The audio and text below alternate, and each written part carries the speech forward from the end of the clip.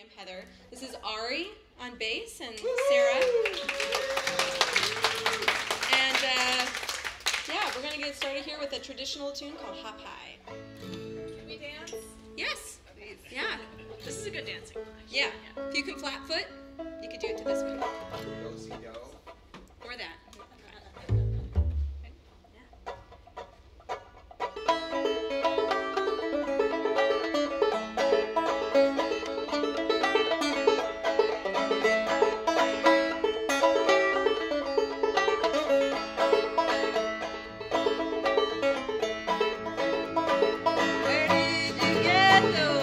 I.